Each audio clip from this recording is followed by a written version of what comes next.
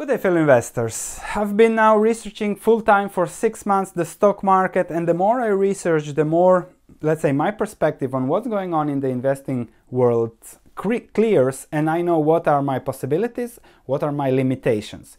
In that light I really want to discuss my investing strategy to show, okay, what can be done, what do I think can be done, what are the risks and rewards when it comes to investing.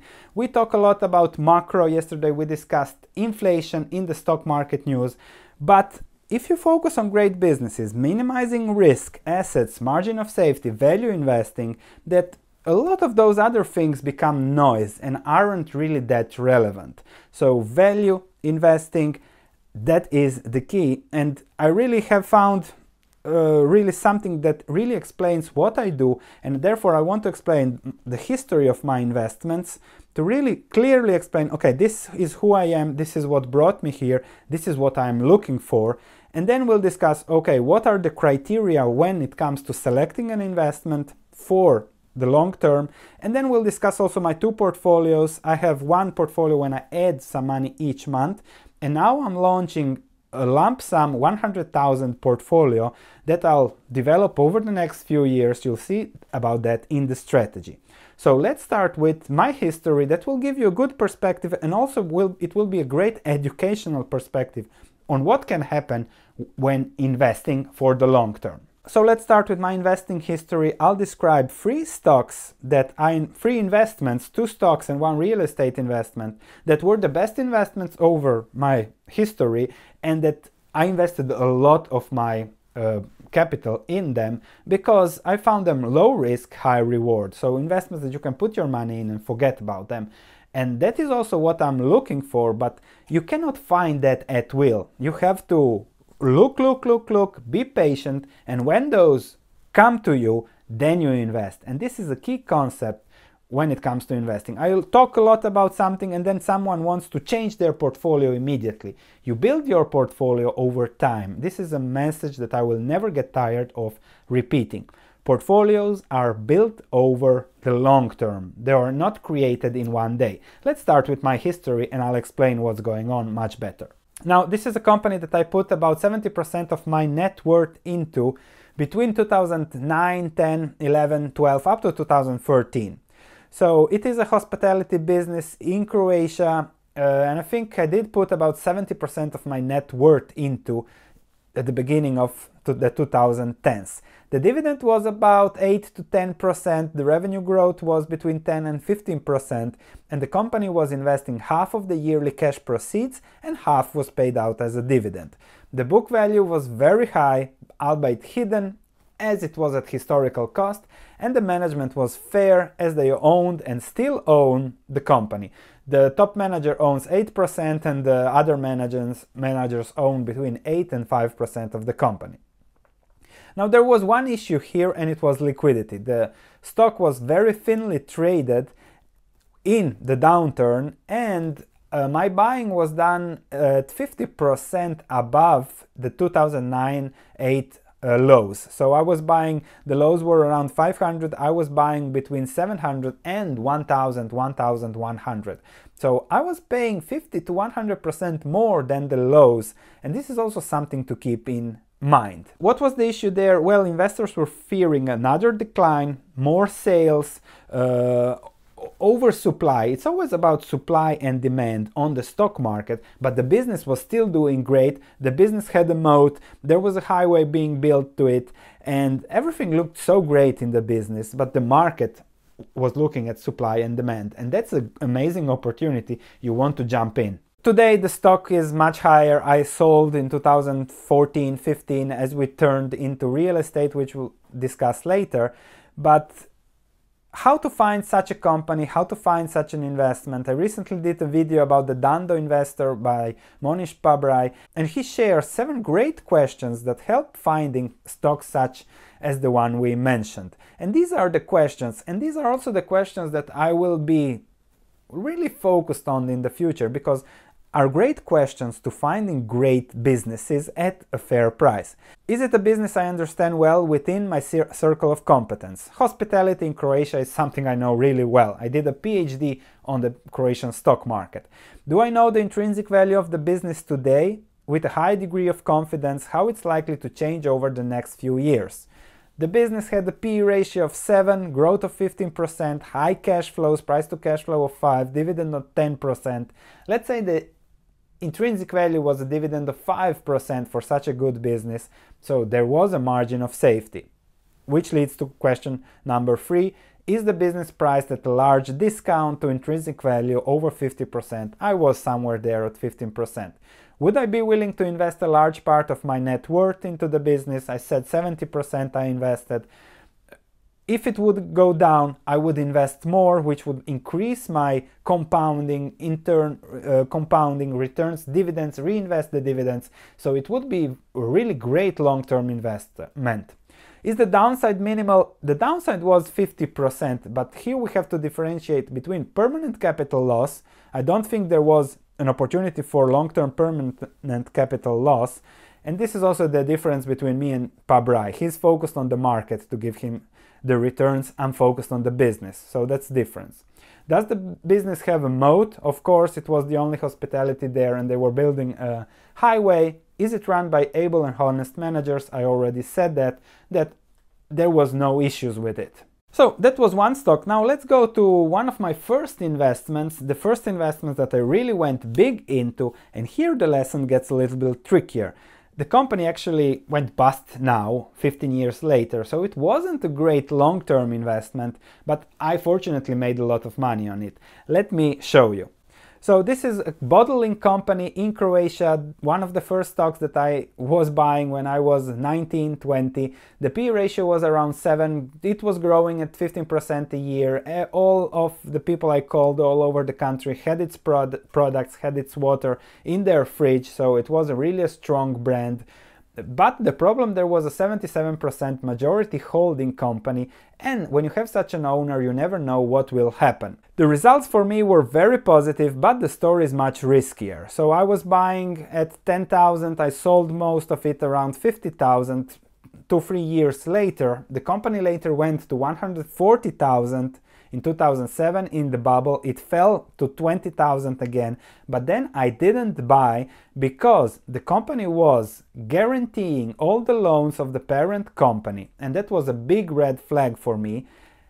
Look at what happened. The stock went up as it is a great business, great brand, uh, good profits, good margins, but then the contingent liabilities, the guarantees materialized as the parent company went bust, and now you see all the equity gone as the company was guaranteeing much bigger loans to the parent. So, this is an example of how the market doesn't focus on the risks until those materialize. If something didn't materialize in the past, it doesn't mean it will not materialize in the future. So, focus on risk is key. So, let's say that between 2003 there haven't been such guarantees which is important but let's say this was a little bit more risky than the previous one. So you learn with time.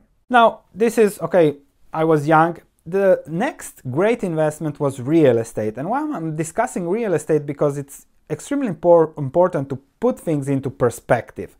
Real estate is grounded, much different than stocks. Prices don't go up that much all the time.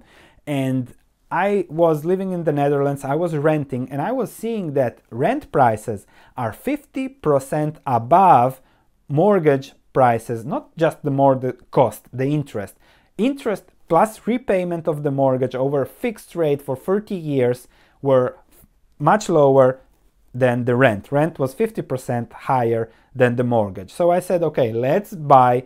It will lower our risks and probably the mortgage costs or the price of the houses will come in line with the rents because I have never heard that rents go down. So we did that. We bought a house, 103% mortgage, no down payment. We have extra money to because we went to buy a house that we had to completely refurbish and I'm still finishing on that. And uh, over the last two, three years, we did very well because we bought at a good moment in time. Why were housing prices in the Netherlands so lower than rent prices? Because nobody wanted to buy in a market that was going down because of fear. Since then, everybody is rushing into buying and the market has exploded and now we are looking to sell to get the equity out because I don't want to hold so much equity in a house. So this will allow me to release some liquidity. Some will go in the long-term 100,000 portfolio that I'll do for stocks and the other part will probably go for another piece of real estate if it will still be selling when I sell this house because I found an amazing piece of real estate that I want to invest. Now when it comes to real estate, the usual comment is on YouTube, do you think investing in real estate is good now? Investing in real estate is like stocks, even more important than stocks. You have to look at 1,000, 10,000 properties, narrow it down to five. On the five, make five extremely lowball offers and one of those fives will be a buy. When you can do that, then investing in real estate is good. Just buying something at market price is crazy to invest in real estate. So please refrain from asking me whether now buying a house is good or not. Do your research and then you will see. So the moral of these three stories, except for one where I was young, the other two have had practically no downside. So the risk of permanent capital loss over the very long term was really minimum. The most I could lose with the house was I could return the house the keys or rent it out so that the rent pays the mortgage and after 30 years I would have the house. Highly unlikely that I would go to permanent capital losses there. So and that is something I really want to do on my stock market research with everything that I do limit permanent capital loss, be it through buying at a margin of safety, being to, through taking advantage of a volatility. If I know it's a good business, I know I can buy more if it goes down. So having some cash and managing that volatility. Uh, if something goes down and I'm happy about owning it, I buy more. When it goes up, I sell part of it to balance portfolio exposure. And so I increase my return over the long term, but I take advantage of volatility because volatility is the best friend of the value investor. So when it comes to investment strategy, I will start with the seven questions from Pabrai and then I'll add something more on it, which is something different than what Pabrai does. I think that Pabrai focuses on getting his part of his return, investing return from the stock market. He wants to buy undervalued stocks and then hoping that the market values them fairly, which he says usually happens in three years, and get the return from there. That worked very well in the first 15 years, not in the last five years. I think his annual return is now 6%, but that's still okay. However, I want to focus on businesses.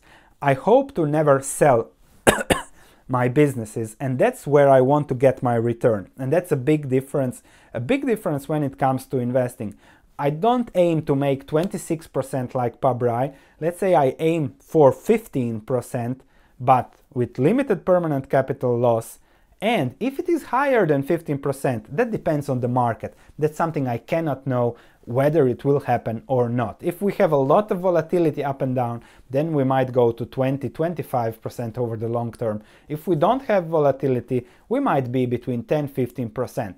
That's uh, not up to me, that's up to the market. Up to me is to find great businesses, limited permanent capital loss, happy to buy more if it goes down, and from the situation in the current market, it takes a lot of work to find such businesses and it takes a lot of time. Additional portfolio keys 10 year investing horizon when analyzing a business. Nobody knows what will the world look like in 10 years, but let's go for high upside and limited downside or unlikely downside. And this is something key. As I said, investing is done through time, and this is something 20 investment punch card for the next 20 years. If you're patient, if you are willing to accept the market is irrational, you can do this and you can really invest in a few businesses over time. Just find five or six on, of them over time. Give yourself the time to find them, and that is what I'm doing. I'm giving myself the time to find that over the long time. Apart from that, when you look for such businesses, the focus has also to be on return on invested capital from the business, reinvest and hold for the long term if the business is likely to continue to deliver returns. Treat the portfolio as a fund. Okay, think of hedges when opportune to do so. So to conclude, this is the S&P 500 and you can see either it goes up or it goes down. There is no in between with stocks, with the market, with people, which is completely irrational. There is a line that can be drawn that balances all out. You have to see how to behave when the market is overvalued and when the market will go into panic mode as it always goes sooner or later. So I also have another portfolio. This is the lump sum, a smaller dollar cost averaging portfolio, but that will be the story for probably somewhere next week when we do a portfolio update on the smaller portfolio. Before I finish, if you want to see all that I do, please check my stock market research platform. There is my portfolio, my strategy, everything written down, and uh, really I show my skin in the game and how it works. See you in the next video.